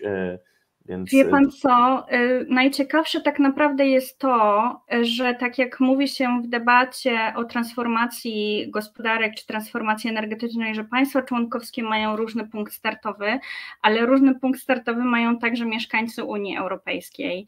I wydaje mi się, że to jest kluczowe, jeżeli chodzi o takie zakazy, bo ja bardzo często w swojej pracy w w, te, w Stowarzyszeniu Europejskim Viewer Electric widziałam, że rzeczywiście społeczności um, bogatsze mają zupełnie inną motywację do wprowadzania zmian. Tak? Oni mogą sobie pozwolić na to, żeby te zmiany były po to, że oni rzeczywiście chcą swoim e, zachowaniem wpływać na ochronę tego środowiska e, naturalnego i i naszego otoczenia, a jeżeli chodzi o państwa członkowskie, które rzeczywiście mają e, niższe PKB, e, to tutaj rzeczywiście największym bodźcem jest e, bodziec oszczędzania. Więc to też jest bardzo połączone z polityką wydaje mi się, ETS-u głównie i, i, cen emisji. Nie wyobrażam sobie, że auto osobowe będzie objęte takim ETS-em, ale mówiło się o planach e, objęcia e, transportu drogowego, Właśnie, więc. Tak. I, I, tworzenia specjalnego funduszu z, z, w ramach e, tego nowego ETS-u, który ma być poświęcony tutaj walce z ubóstwem energetycznym, jeżeli dobrze pamiętam. Tak. Mhm. Właśnie. Mhm. Mm, więc rzeczywiście sektor samochodowy czy automotyw nie jest zadowolony. Są głosy krytyczne, że rzeczywiście większości Europejczyków może nie być, e, nie, nie być ich stać na, na auta po roku 2035. Pewnie będzie to wynikało z wielu czynników, w tym z tego, jak będzie rozwijała się infrastruktura do ładowania aut na paliwa alternatywne, e, jak spadnie koszt produkcji takiego auta. Chciałabym też zaznaczyć, bo krytycy mówią, że będziemy musieli się przesiąść wszyscy na rowery i jeździć tylko e, transportem publicznym, ale tutaj e, zwrócę się trochę w stronę pana Rahima Blaka i całej e, energetyki rozproszonej, bo pamiętajmy o tym, że no, nie tylko biznes powinien ponosić odpowiedzialność za to, walkę czy też ochronę naszego środowiska i klimatu, ale my w codziennych naszych wyborach również możemy. Ja sama jeżdżę autem, więc żeby nie było, że jestem głosmutna, ale wydaje mi się, że wiele aglomeracji w tym momencie rzeczywiście zwraca się ku zrównoważonemu rozwoju. powstają platformy w dużych miastach, również w Polsce e, o zrównoważonym rozwoju, gdzie transport publiczny, zbiorowy jest w centrum takich zmian, e, buduje się coraz więcej ścieżek. E, już teraz są inicjatywy ograniczania wjazdu do miast, bądź do części miast aut ze starszymi silnikami diesla, bądź w ogóle wyłączanie części miast z ruchu samochodowego. Nie zawsze to idzie tylko w parze z argumentami dotyczącymi ochrony środowiska, ale w ogóle lepszej jakości życia w miastach. Zgadzam się, że dla regionów wiejskich czy podmiejskich w niektórych krajach w Polsce, być może nie wiem, jak jest to w innych krajach, tak jak na przykład w Bułgarii czy Rumunii, może ten problem jest dość duży. Mm, dlatego myślę, że trzeba poczekać e, z całym e, procesem legislacyjnym i tym, co nie tylko Komisja, ale Parlament Europejski zaproponuje w tej kwestii. Dziękuję bardzo. Jeżeli mogę coś dodać do Oczywiście, tego, to bardzo proszę. takie, takie dwie, dwie uwagi, bo myślę, że z, Pamiętajmy o tym, że Polska jest krajem granicznym Unii Europejskiej, więc jeżeli taki zakaz by się pojawił, no to oczywiście najbardziej na tym skorzysta Ukraina, tak? bo wystarczyłoby w tym momencie zarejestrować samochód na Ukrainie i y, można nim już jeździć, jeździć w Polsce, a poza tym też no myślę, że Polacy są na tyle, na tyle sprytnym narodem, że takie, takie na pewno jakieś obejścia takich zakazów znajdą, więc tak naprawdę jedyny, jedyne, jedyna możliwość, żeby Komisja Europejska mogła, czy Unia Europejska jako całość mogła wyeliminować fizycznie samochody spalinowe w jakiejś tam perspektywie, to jest po prostu zakazanie sprzedaży paliw. Więc takie są na gorąco spojrzenie jako użytkownik, użytkownik samochodów i mechanik amator. Rozumiem, tak. Znaczy bez wątpienia tutaj będą y, kreatywne sposoby radzenia sobie z zakazami, nie otwieranie placówek pocztowych w samochodach, żeby tylko można było nimi jeździć. E, ale poruszyliśmy w tej dyskusji kwestię ubóstwa energetycznego i właśnie z tym tematem chciałbym zwrócić się do pana Rahima. Mianowicie wspomnieliśmy już tutaj o tokenizacji energii i e, przygotowując się do tej debaty znalazłem artykuł, który stwierdzał, iż tokenizacja może pomóc w rozwiązaniu problemu ubóstwa energetycznego, przynajmniej w części. Mhm. Czy tak jest naprawdę i jeżeli tak, to w jakim to miałoby być, w jakiej to miałoby być formie? Priorytetem zastosowania tokenizacji jest tutaj bardziej demokratyzacja niż, niż walka z ubóstwem. Demokratyzacja polega na tym, że do tej pory branża energetyczna była zarezerwowana dla tych jednak większych świadomych graczy, chociażby przez swoją centralizację i, i, chociażby przez dużo, dużo większy próg wejścia niż, niż jest to w tej chwili. E, no więc e, dopóki każdy obywatel nie będzie miał e, równego dostępu do rynków kapitałowych i bez zakładania konta maklerskiego i bez doradców inwestycyjnych nie będzie mógł zainwestować dowolną kwotę, no to oczywiście będziemy mieli do czynienia zarówno z ubóstwem, jak i, jak i z z brakiem wyrównania szans w dostępie do rynków kapitałowych i, po, i powiększeniem e, nierówności społecznych między tymi bogatymi, którzy stają się jeszcze bogatsi, a tymi ubogimi, którzy nie mają dostępu do prostych form finansowania, finansowania społecznościowego, czy to poprzez platformy equity crowdfundingowe, czy to poprzez platformy właśnie tokenizacji projektu. Więc z jednej strony często mówimy, że, że te, ten wolny, można powiedzieć, rynek, który tak naprawdę jest doskonale nazwany, jest nazwany obrotem niezorganizowanym, bo pamiętajmy, że, że 10 tysięcy spółek przecież e, akcyjnych w Polsce nie jest notowanych na GPW, więc gdzieś jest, ono jest w jakimś niezorganizowanym obrocie. Można świetnie zorganizować dzięki technologii blockchain, świetnie uporządkować i dać dostęp możliwości inwestowania. Nasi inwestorzy, którzy kupili udziały w farmach słonecznych i wytwarzają energię, którą mogą zużyć lub sprzedać na naszej giełdzie kryptoaktywów i kryptowalut, są zadowoleni e, zarówno z formy, jak i z możliwości wygrywania jakichś korzyści. Więc bardziej niż ubóstwo chodzi tutaj o, o, o, o demokratyzację i wyrównanie szans. Natomiast jeżeli chodzi o samą w ogóle transformację energetyczną, to, to, to ja tutaj może taki szlagier zacytuję Margaret Thatcher, że rząd nie ma własnych pieniędzy, e, to w takim razie ja uważam, że e, transformacja energetyczna bez e, wielkiej orkiestry ratowania planety, bo ja uważam, że nasza tokenizacja jest trochę taką wielką orkiestrą ratowania planety, analogicznie do Wielkiej Orkiestry Świątecznej Pomocy, no to bez e, po prostu pospolitego ruszenia całego narodu tego nie da się sfinansować. Tak? E, pamiętajmy, że na przykład farmy słoneczne, które są ważnym filarem energetyki odnawialnej, nie są do, do końca chętnie dotowane przez żadne filary unijne, które przecież nie będą przykładać się do projektów, które tak naprawdę założenia nie są innowacyjne, bo tutaj mówimy o technologii popularnej w latach 80. Wiadomo, że strategie wodorowe chętniej są jakby dotowane e, pod kątem tego, że one, one są jeszcze na etapie tak naprawdę rozwoju, ale tu jest robota do wykonania, 300% normy i te projekty są mniej chętnie dotowane, a te projekty wymagają po prostu tak naprawdę pieniędzy no, wszystkich obywateli. E, I, i, I, ja uważam, że to jest walka nie o ubóstwo energetyczne e, poszczególnych jednostek, ale całego narodu. I ja wierzę w to, że jeżeli wszyscy obywatele grosz do grosza się do tej inicjatywy dołożą, no to wtedy e, ściągniemy bardzo duże, duży, duży ciężar, jaki, jaki, jaki, jaki, jaki spoczywa na właśnie transformacji energetycznej, która czeka Polskę i, i cały świat. Także Także to jest wspaniałe, że można do tego, do, do, transformacji energetycznej zaprosić, zaprosić wszystkich, w tym wypadku akurat dzięki, dzięki tokenizacji na blockchainie. My zaczynaliśmy od tokenów e, za 4 zł, potem pozyskaliśmy kilka milionów, a potem przyszły fundusze, które zaczęły nam dawać kilkaset milionów złotych. To pokazuje potencjał oddolnej inicjatywy społecznej. Hmm.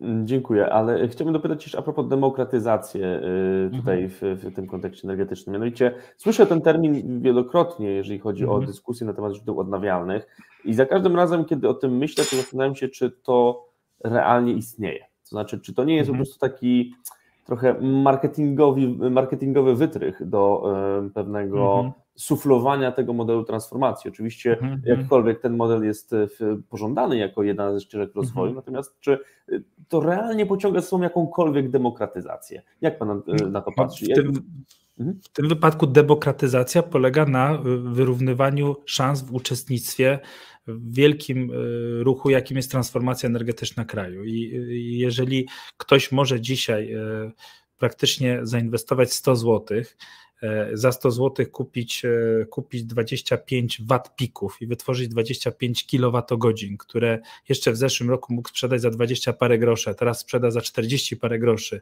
I mieć, e, prawda, czerpać korzyść z tego, że energia podrożała o 100%, a nie czerpać, a nie martwić się tym, że podrożała o 100%, no to to jest demokratyczne jednak prawo, które pozwala w tym, w tym ogromnym w tej ogromnej szansie gospodarczej uczestniczyć wszystkim. Więc demokratyzacja zaczęła się w ogóle od blockchaina, ponieważ z natury blockchain jest demokratyczny. Sam e, Satoshi, który wyemitował bitcoina, no nie zostawił sobie większościowe udziały w tej walucie, ale ją zdemokratyzował poprzez to, że stała się ona walutą w rękach dziesiątków milionów ludzi.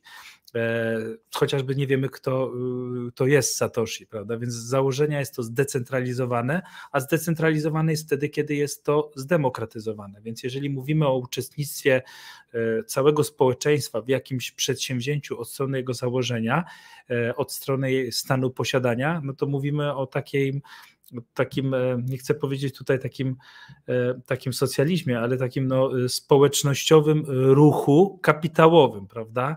Więc, e, więc to, jest, to jest niesamowite i to się dzieje, prawda? Ponieważ dlatego ja e, zakładam farmę i emituję smart contract na blockchainie, ponieważ chwilą wyemitowania tego smart contractu na blockchainie ja jako założyciel już nie mam nad tym kontroli.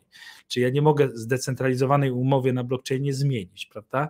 Więc, e, więc Stąd jest jakby ta demokratyzacja, że, że wszyscy ludzie mogą być uczestnikami gdziekolwiek są i na ilekolwiek ich nie stać. I najciekawsze jest jeszcze to, że kiedy ludzie się zastanawiają, myślą sobie, czy blockchain jest skomplikowany i tak dalej, no to proszę mi wierzyć, że skorzystanie z usług kancelarii prawnej, aby udać się do notariusza, aby z, zrobić zapisy w księgach wieczystych, dla mnie osobiście jest bardziej skomplikowane e, i, i nie wiem, kupienie akcji w spółkach e, notowanych na GPW poprzez założenie konta maklerskiego i skontaktowanie się z bankiem i e, z doradcą jest też dla mnie jeszcze bardziej skomplikowane, a jak dostaję rachunki ze spółek energetycznych, gdzie dostaję 45 stron i nie rozumiem o co chodzi z dziesiątkami pozycji, też jest to dla mnie bardziej bardziej skomplikowane. Więc technologia blockchain, która dzisiaj no, jest naprawdę czymś zupełnie nowym, tak naprawdę ona, ona, ona, ona, ona ma po prostu działać. I oczywiście jesteśmy na etapie wczesnej adopcji,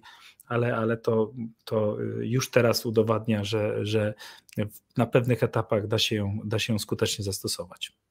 Y, to jeszcze muszę pozwolić na jedno takie pytanie właśnie w, tym, w kontekście demokratyzacji. E, tak nawiasem, bardzo szanuję to przejście od cytowania Margaret Thatcher do e, słów o socjalizmie. To była taka e, szybka wolta. Natomiast właśnie nie chciałem, nie chciałem tego robić, ale, ale, ale mamy tu do czynienia właśnie z pewnym tak. społecznościowym, społecznościową inicjatywą, tylko Margaret Thatcher nie znała technologii blockchain, więc, więc stąd jak może powstać ten, ten dysonans. Nie, nie było wtedy technologii blockchain, tak? Technologia blockchain e, inaczej do tego podchodzi. Poza tym, poza tym no, jeżeli spółka państwowa buduje jakieś inicjatywy, to, to też przecież należy do obywateli. Tylko tutaj bardziej dos, w tym wypadku bardziej dos, dosłownie. Tak, tylko zastanawiam się po prostu, czy zjawisko, o którym Pan mówi, nie jest pewną formą, nazwijmy to, obywatelskiej komercjalizacji, a nie demokratyzacji, bo demokratyzacja w tym swoim rdzeniu kratos oznacza rządzenie. Tymczasem e, mówienie o tutaj blockchainie czy o energetyce rozproszonej moim zdaniem nie przekłada się na rządzenie. To może co najwyżej na rozporządzanie własnym budżetem e, i e, pewne inwestycje środków czy aktywów, takich jak nie wiem, nieruchomość. Natomiast nie ma tutaj tego rdzenia przekładającego się na życie publiczne. Nie wiem, czy się Pan ze mną tutaj zgodzi. Ale po prostu dla mnie ta demokratyzacja mm, z racji tego, że nie odnosi się do struktur zarządzania państwem czy jego częściami, po prostu nie spełnia, te, to, to o czym mówimy w tym momencie nie wypełnia z nami tego, tego konstruktu społecznego, jakim jest demokracja. Po pierwsze, używamy tutaj pewnej metafory, a po drugie, ja nie wiedziałem, że demokratyzacja jest zarezerwowana dla zarządzania e, w kwestiach, e, kwestiach, e, kwestiach bardziej społeczno-politycznych niż zarządzania na przykład równym dostępem do, do, do rynków kapitałowych. Myślałem, że to jest bardziej uniwersalne podejście. Jeżeli nie jest, to używamy go tutaj metaforycznie. Chodzi o to, żeby, żeby ci bogaci dzięki dostępowi do pewnych rynków nie stawali się jeszcze bogatsi, a, a ci na przykład mniej zamożni mieli, mieli równy dostęp do, do, do szans, jakie tak naprawdę niesie transformacja energetyczna, bo oprócz tego, że jest to robota, którą trzeba wykonać, jest to również e, ogromna zmiana gospodarcza, która, która, która stwarza też dla wielu bardzo, bardzo duże szanse. Motywy, za którymi idą ludzie uczestniczący w tym ruchu, prawda? E, chociażby teraz moi znajomi na Facebooku, na Instagramie, na TikToku mnie oglądają podczas tego, wydawałoby się, e, by się jakże merytorycznego tutaj tutaj, tutaj debaty, no to, no to jakby intencje ich uczestnictwa w tym przedsięwzięciu są bardzo różne. Czasami one są związane po prostu ze wspieraniem zmian klimatu, czasami one są związane z tym, żeby, żeby, żeby jednak zabezpieczyć rosnące ceny energii poprzez rynek wirtualnego prosumenta, bo nie każdy ma możliwość e, postawienia fotowoltaiki na dachu, bo ktoś na przykład mieszka e, na przykład w bloku albo w jakiejś innej architekturze, która takich możliwości nie stwarza, więc y, intencje, które za tym idą, są, są, są różne, ale tutaj metaforycznie mówimy o demokratyzacji, czyli że może każdy zarządzać, w tym wypadku akurat stanem posiadania i, i, i, rynk, i rynkami kapitałowymi. Dziękuję. Ja chciałam powiedzieć dwie rzeczy, jeżeli mogę. Jasne, oczywiście. Pierwszym to, że nie jest prawdą, że państwo nie wspiera rozwoju F farm fotowoltaicznych, bo mamy aukcję OZE cały czas u nas w kraju, o ile dobrze pamiętam, także to wsparcie jest. A po drugie, rzeczywiście zgodziłabym mamy się... Mamy Mój Prąd jeszcze, dodam tylko, Słucham? Mamy program Mój Prąd, to jest bardzo o, istotne wsparcie. Właśnie. Tak, tak, ale mówicie Państwo, mówicie Państwo, mój prąd to jest jakby rynek e, konsumencki, natomiast e, aukcyjny model wsparcia mm, no jest jakimś modelem wsparcia, ale zdecydowanie w mojej ocenie e, za mało atrakcyjnym, jeżeli chodzi o, o możliwość tutaj dokonania bardzo istotnych zmian transformacji energetycznej. No, inne nie są dopuszczalne przez dyrektywę, więc to już. No to właśnie na poziomie, na poziomie, na poziomie, na poziomie na poziomie właśnie dyrektyw e, też nie ma tutaj za dużego wsparcia, chociażby jeżeli przeczytamy e, o tym wsparciu w zakresie e, planu odbudowy, no to widzimy, że tam jest dużo wodoru, dużo, dużo elektromobilności, natomiast no tej fotowoltaiki ze względu chociażby na potencjalną migrację kapitału do krajów, gdzie ta fotowoltaika jest wytwarzana, no to nie ma za dużo i wtedy właśnie jest szukanie alternatyw, natomiast no sam model aukcyjny tutaj jest, jest przez przedsiębiorców dosyć no, uznawany za, za dosyć takie no, skąpy rodzaj wsparcia. Nie twierdzę, że ja nie wskazuję tu, czyja to jest wina, ale, ale, ale potrzeby tu są znacznie większe. Ja mogłabym podebatować na ten temat, ale myślę, że nie jest to temat też naszej debaty, więc możemy kontynuować kiedy indziej. Ale chciałam też powiedzieć, że ja chyba bym się zgodziła z tym określeniem demokratyzacja energetyki, bo to, o czym mówi pan e, Rahim, dla mnie blockchain jest cały czas jeszcze taką trochę enigmą i za dużo nie miałam e, styczności z tą formą e, w pracy, w swoim życiu zawodowym, ale przecież mamy całą instytucje, czy też ramy dla tworzenia społeczności energetycznej, więc no, to jest demokratyzacja, prawda, nie komercjalizacja, więc Mhm. Ja, ja chciałem tylko dodać jedną Jasne. rzecz, że cały czas mówiąc o tym wsparciu i tak dalej, ja generalnie nie jestem zwolennikiem wsparcia. Tak? Ja mówiąc o, o, o tokenariuszach, mówiąc o, o rynkach, o, możliwości demokratyzacji dostępu do inwestowania w transformację energetycznej, ja nie mówię o wsparciu, tylko ja mówię o realnych korzyściach, które z tego mogą mieć uczestnicy tego e, przedsięwzięcia. Więc ja w ogóle jestem e, wielkim zwolennikiem e, tego, że jeżeli coś jest uzasadnione ekonomicznie, to prędzej jest też uzasadnione ekologicznie ekologicznie poprzez uzasadnienie ekonomiczne, no bo jeżeli, jeżeli potrzeba więcej energii do wytworzenia mniej energii, no to jeżeli coś jest nieekonomiczne, jest coś nieekologiczne, chociażby ekonomiczna jazda samochodem jest wtedy, kiedy spalamy mniej, jak nie kiedy więcej, więc jeżeli, jeżeli odnawialne źródła energii wymagałyby tak naprawdę interwencji budżetów centralnych, to znaczy, że wymagałyby dopłat, a jeżeli wymagałyby dopłat, to znaczy, że są niebankowalne i są nieekologiczne też, bo są nieekonomiczne. Wiele dzisiaj ludzi, e, oczywiście one na dziale RD, czyli na dziale na etapie badań, badań, one mogą być dotowane, bo wtedy w grę wchodzą e, e, jakby projekty, które mają długoterminowo jakby zmieniać świat na lepszy. Natomiast no, w tym momencie, kiedy kiedy te przedsięwzięcia są bankowalne. E, ja tutaj bardziej bym oczekiwał większego zrozumienia ze strony, ze strony banków komercyjnych, które chętnie zaczną, e, przysłowiowo mówiąc, drukować pieniądze, niż, e, niż ze strony wsparcia, w którym do czegoś trzeba dopłacać. Bo jeżeli, jeżeli coś by wymagało dopłat, to, to, to dalej, dalej zauważam w ogóle, że bardzo dużo ludzi, z którymi ja rozmawiam, żyje w przekonaniu, że do OZE trzeba dopłacać nie ma jeszcze e, tego fundamentalnego w ogóle zrozumienia, że dzisiaj energia zielona jest tańsza w wytworzeniu kosztowo niż energia brudna, prawda? Poprzez swoją efektywność i poprzez to, że no, fotowoltaika kosztuje i mniej pracy i mniej kapitału niż elektrownia węglowa, więc naprawdę e, ja tutaj absolutnie nie oczekuję, że będzie jakieś wsparcie i, nie, to, nie to jest moim zamiarem. Wręcz e, uważam, że te, z tymi projektami e, powinien sobie świetnie poradzić, e, poradzić biznes. To chciałbym zadać teraz takie jedno bardzo kontrowersyjne pytanie, mianowicie ile kosztowała jedna megawattogodzina z energii wiatrowej podczas ostatniej flauty na Morzu Północnym? No i tutaj moglibyśmy debatować, e, czy faktycznie e, energetyka wiatrowa i odnawialna jest tańsza, bo jak się okazało, e, przykład chociażby Niemiec w tym momencie pokazuje, że nie jest i że, że powrót do węgla, który tam ma miejsce, związany właśnie z tym, że nad centralną częścią Europy była flauta, zresztą chyba nadal jest i się utrzymuje do pewnego stopnia, no to pokazuje pewne niedostatki e, technologii odnawialnych i właśnie moim zdaniem też niedostatki tego najpowszechniejszego miernika opłacalności danych technologii, czyli LCOE, który e, no, nie pokazuje chociażby mm, tego backupu dla OZE w cenie energii a który jest bardzo istotny w takich warunkach jak, jak chociażby te, które panują obecnie i w ramach kryzysu energetycznego. Natomiast przechodząc dalej do naszej dyskusji, bo tutaj poruszyliśmy właśnie mm, ten wątek demokracji, więc chciałem przejść do demokracji pośredniej e, i do e, wytworów tej demokracji pośredniej, mianowicie do legislacji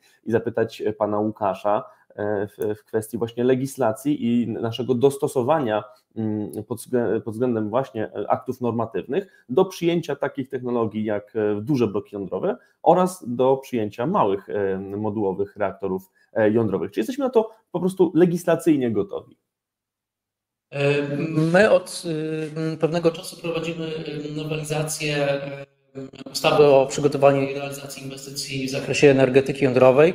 E, ta ustawa ona ma swój początek jeszcze w 2011 roku. Oczywiście też pewne, pewne kwestie związane z procesem inwestycyjnym e, są także w innych aktach prawnych, no chociażby w prawie atomowym, czy jakichś tam powiedzmy aktach, e, aktach też niższego rzędu, w rozporządzeniach. Niemniej jednak ta ustawa akurat jest tutaj kluczowa i na, na powiedzmy, że w tej formie, w, w której ona jeszcze obecnie obowiązuje, była wystarczająca do E, tego, mm, powiedzmy, do osiągnięcia tego stanu realizacji czy przygotowań do inwestycji, który mamy obecnie, tak? Natomiast w związku z tym, że mm, teraz już e, będą wchodziły jakby pewne e, bardziej szczegółowe, trzeba będzie bardziej szczegółowo pewne rzeczy rozwinąć, to też i poza tym też i w toku oczywiście przygotowań do, do, do budowy całego procesu związanego z, z wyborem lokalizacji E, zdecydowaliśmy, że będzie potrzebne pewne przyspieszenie i też optymalizacja pewnych, e, pewnych procesów, które w ramach tej ustawy są przewidziane, czyli tych procesów administracyjnych. W związku z tym ta nowelizacja obecnie jest przez nas realizowana. Natomiast e, tak, jeśli chodzi o tak, tą kwestię związaną z powiedzmy mnogością technologii reaktorowych, o której pan redaktor wspomniał, to oczywiście nasze polskie prawodawstwo na ten moment, ono jest neutralne technologicznie, tak? Więc można każdy, w zasadzie każdy albo może prawie każdy rodzaj reaktora energetycznego w Polsce zbudować w oparciu o, o tę ustawę. I nie jest oczywiście prawdą to, co czasami tam gdzieś się w debacie publicznej pojawia jakieś zdania, że jest, że jest niemożliwe, bo jest jak najbardziej, jak najbardziej możliwe. No oczywiście tutaj każda technologia reaktorowa jest, jest trochę inna i oczywiście też istnieją pewne grupy reaktorów, które dosyć mocno się powiedzmy od, od tych najbardziej znanych, czyli tych dużych reaktorów lekkowodnych, one się, one się różnią i też my mieliśmy rzeczywiście zgłoszone takie uwagi ze strony, ze strony społecznej czy tam potencjalnych inwestorów e, dotyczące propozycji zmian i to bardzo poważnych już zmian, bardzo daleko idących w naszej ustawie inwestycyjnej. Natomiast no, naszym zdaniem nie, nie, my na ten moment nie, nie widzimy potrzeby, żeby, żeby tworzyć w zasadzie odrębny jakiś akt prawny, który, który by który by regulował e, kwestie tych, tych, e, tych innych technologii. Zresztą no, powiedzmy sobie szczerze, no, nie widzimy też e, sensu tego, żeby jakieś technologie uprzywilejowywać względem innych, tak? bo to jest też kwestia oczywiście dania pewnych jakichś tam przywilejów, no a też pamiętajmy, że oczywiście zarówno specustawa, tak zwana specustawa, chociaż może to nie jest takie dobre słowo, ono jest oklepane, ale no nie, nie, nie, jest, nie jest właściwe, nie powinno się raczej go w tym kontekście używać. No niemniej zarówno ta ustawa inwestycyjne, jak też no, inne akty prawne, one powstały w jakimś celu. One powstały w takim celu, żeby społeczeństwo, żebyśmy my jako obywatele mieli też pewność, że obiekty jądrowe, które u nas są i będą budowane, będą y, miały odpowiednio wysoki poziom bezpieczeństwa. Także państwo oczywiście bierze odpowiedzialność za, za bezpieczeństwo obiektów jądrowych, więc y, tutaj w przypadku tworzenia mm, powiedzmy jakichś bardzo daleko idących y, ułatwień, które, które miałyby na przykład znieść jakieś wymogi dotyczące bezpieczeństwa, czy lokalizacji, czy, czy niektórych jakichś tam procedur, trzeba oczywiście bardzo dobrze wyważyć y, jakby te, te, te, te dwie racje, tak? Z jednej strony owszem pewne rzeczy y, że powinniśmy rzeczywiście usprawnić i przyspieszyć, natomiast y, zawsze gdzieś tam z tyłu głowy powinniśmy mieć y, te kwestie, kwestie bezpieczeństwa, więc zmiany, które my dokonujemy w naszym prawodawstwie czy w naszych ogólnie regulacjach, mają raczej charakter ewolucyjny, ale nie, nie, będą, to, nie będą to zmiany rewolucyjne. Dziękuję serdecznie. Zdaje się, że reaktora RBMK nie możemy stawiać w Polsce w świetle przepisów prawa, ale to akurat dobrze. Ale nikt go nie oferuje, nikt go nie oferuje. To też dobrze. To tylko, tylko dobry prognostyk. Y, pani Natalio, y, chciałem zapytać jeszcze o ten wodór, o którym już mówiliśmy, mianowicie o jego opłacalność, ewentualnie przewidywalną opłacalność. Mianowicie w tym momencie 95% wodoru, który jest produkowany na świecie, to jest wodór z paliw kopalnych i on jest emisyjny w, w ramach toku swojej produkcji. Oczywiście docelowo w ten przemysł wodorowy ma się opierać na zielonym wodorze, ewentualnie tam jeszcze jakimś fioletowym. Wiemy już na przykład, że ten niebieski wodór nie do końca przystaje do wyśrubowanych standardów emisyjnych w tym momencie, e, więc moje pytanie brzmi, czy da się ustalić jakąś datę, o której będziemy wiedzieć, że do, zielony wodór się już opłaca? Ten wodór pozyskiwany dzięki elektrolizie ze źródeł odnawialnych, e, kiedy on będzie konkurencyjny cenowo względem e, jego e, tutaj obecnie używanych, e, powiedzmy, mhm. kolorowych wodorów. Jasne. Rzeczywiście problemem przy rozwoju takich nowych technologii są wysokie koszty wejścia na rynek. Szacuje się obecnie, że zielony wodór, wodór będzie konkurencyjny, czy też nawet tańszy od innych E, koloru wodoru, chociaż starałam się nie używać kolorów, tylko raczej emisyjności e, tego gazu. E, będzie tańszy w roku 2050, takie są szacunki, i to obejmuje również produkcję wodoru bez CCS-u, który jednak w dużej mierze podnosi ten koszt, więc już nawet w roku 2050 wodór pochodzący z procesu elektrolizy odnawialnego źródła energii, prądu pochodzącego z odnawialnego źródła energii do wodoru, e, będzie koszt takiej produkcji tańszy niż koszt produkcji wodoru z paliwa kopalnego, nawet bez wychwytywania już dwutlenku węgla. Aczkolwiek wydaje mi się, że przy obecnych cenach gazu na niektórych rynkach nie zdziwiłabym się, że już mógłby, mogłoby być to paliwo konkurencyjne już w tym momencie. Wiadomo, że jest to pewnie e, jakiś trend chwilowy tych wysokich cen e, gazu, które mamy teraz e, na rynkach. Mm, także takie ogólne mm, ekspertyzy i szacunki kosztów wytwarzania energii czy też zielonego wodoru E, wskazują, że rzeczywiście e, kosztowo będzie to o wiele lepiej e, wyglądało około roku 2050, aczkolwiek wydaje mi się, że inwestycje po roku 2030 w technologie wodorowe, które będą innymi technologiami niż rzeczywiście technologie wykorzystujące energię ze źródeł odnawialnych, Mogą również być już niekorzystne, jeżeli chodzi o koszty inwestycyjne, zwłaszcza jeżeli weźmiemy pod uwagę taksonomię i dalszy rozwój prac e, nad e, całym pakietem zrównoważonego finansowania. Dziękuję. Ten 2050 tak trochę późno biorąc pod uwagę jakby skalę wyzwań e, i, i, też nadziei pokładanych w wodorze, no bo to się okazuje, że e, to dochodzimy już do tego momentu, gdzie powinniśmy być teoretycznie neutralni e, klimatycznie jako Unia Europejska, a tymczasem to się okazuje, że dopiero wtedy ten zielony wodór będzie się opłacał. Także Komercyjnie, to, prawda? Dlatego mhm. jednak większość wytwórców czy też e, podmiotów zajmujących się bądź rozwijających obecnie mhm. technologie, czy też wytwarzania, tworzenia, produkcji elektrolizerów, czy też spalania wodoru,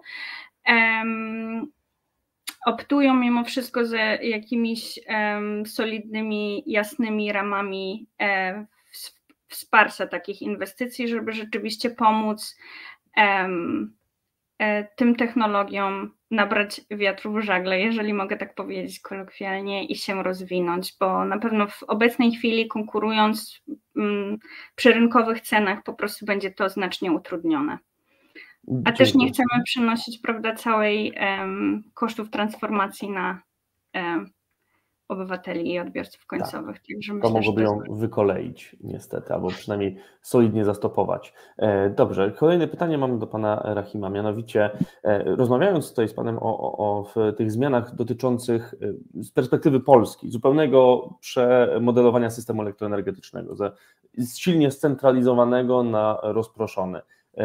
Czy patrząc na tę skalę wyzwań i też skalę zmian, uważa Pan, że polskie społeczeństwo jest na to gotowe? Czy jesteśmy właśnie gotowi do tej uczestnictwa w tej takiej, nazwijmy to, demokratyzacji energetyki i w takim e, partycypowaniu w szerokiej transformacji tego, e, tego sektora?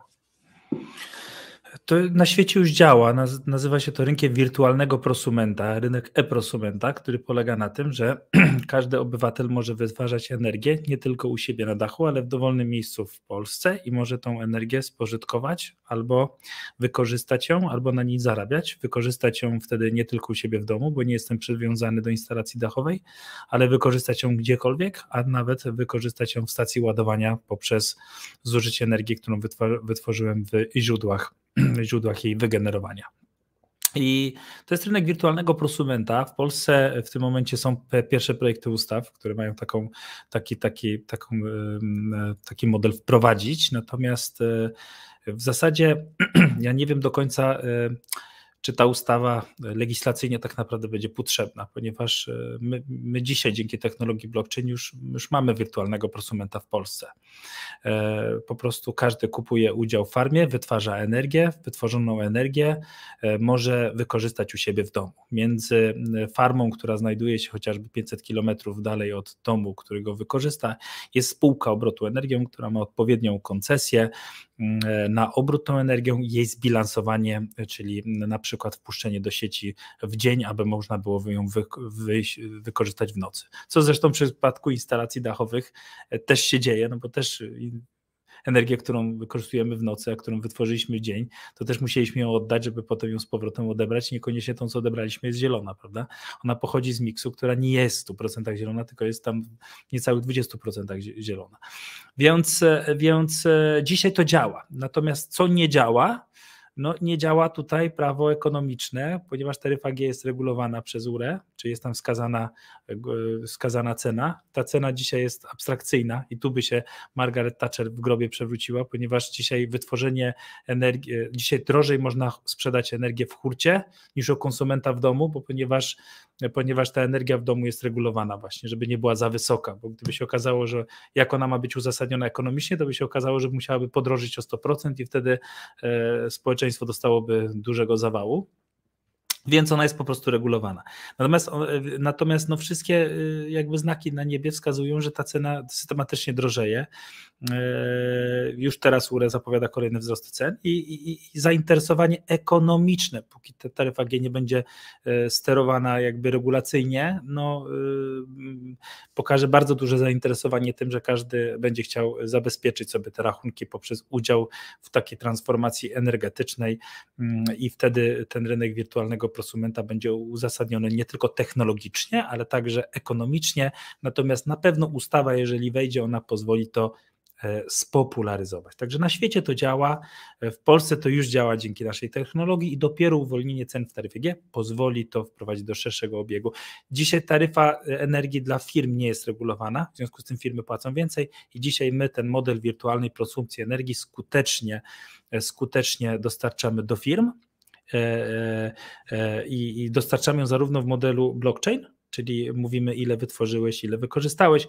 Natomiast w przypadku tych największych firm, które zużywają największej ilości, to wtedy nie używamy technologii blockchain, tylko używamy takich 130-stronicowych umów, które będą akceptowalne przez bank, i wtedy ten CPPA daje nam zakontraktowanie dostaw e, po stałej cenie. I ten CPPA, tutaj do pani Natalii się zwrócę, jest dużo bardziej atrakcyjny niż model aukcyjny, który jest wsparciem, dlatego że tu mamy dużo lepsze ceny i na świecie dzisiaj model CPPA, czyli taka wirtualna produkcja energii tylko przez duże przedsiębiorstwa, jest najciekawszym modelem wsparcia odnawialnych źródeł energii.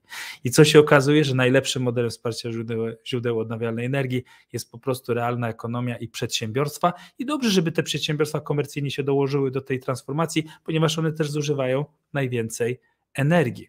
Więc a, a, a idące y, kolejne wymogi dotyczące bilansowania śladu węglowego i redukcji śladu węglowego przez przedsiębiorstwa, tym firmom pokazują już, że nie dość, że to jest wymagane, to jeszcze jest to opłacalne i, i pod każdym kątem te firmy będą się angażować w model wirtualnej produkcji energii. Wtedy firmy mają do wyboru albo stawiać własne źródła OZE, albo kontraktować dostawę energii z tych OZE. Także yy, to nie jest kwestia tego, czy, czy, czy, czy my jesteśmy y, na to gotowi. To już na świecie działa i, i to można wprowadzić zarówno e, w modelu wirtualnej konsumpcji energii przez, przez klienta indywidualnego, jak i przez duże przedsiębiorstwa. Dobrze, bardzo dziękuję. Szanowni Państwo. Natomiast dodam jeszcze, że niekoniecznie użytkownik, który zaświeci to światełko, które będzie pochodzić ze słońca, które y, zostało y, wygenerowane daleko, daleko stąd, to przecież ten użytkownik y, nie musi tego rozumieć, jak to działa. To ma po prostu działać. Tak, natomiast jakby brak zrozumienia implikować może pewne problemy we wdrożeniu. E, no, widzieliśmy wszyscy, jak na przykład była wdrażana technologia 5G. E, to niestety taka, taki był, był, był, był pewien opór społeczny, chyba nadal gdzie niegdzie jest. Mam nadzieję, że tego da się uniknąć. E, ale Szanowni Państwo, czas naszego panelu dobiegł już końca. Bardzo Państwu dziękuję za podzielenie się Państwa wiedzą, spostrzeżeniami i prognozami i oddaję głos organizatorom. E, bardzo dziękuję. E, w imieniu organizatorów kongresu serdecznie dziękuję Państwu za tak ciekawą debatę. E, I także myślę, że tematyka nowych trendów i kierunków zeroemisyjnej energetyki jeszcze nie raz zagości w naszych różnych debatach. Nie unikniemy tego i to widać też po tym, o czym Państwo rozmawiali. A już dzisiaj zapraszam także wszystkich na kolejną debatę, tym razem o tematyce blasków i cieni zasady 10H, która odbędzie się już 9 listopada o godzinie 18. Życzę wszystkim dobrego wieczoru. Dziękuję bardzo. Dziękuję bardzo. Dobranoc. Do widzenia. Dobranoc. Dobranoc.